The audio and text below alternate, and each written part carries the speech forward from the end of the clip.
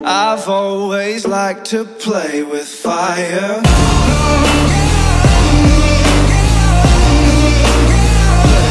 Fire. I've always liked to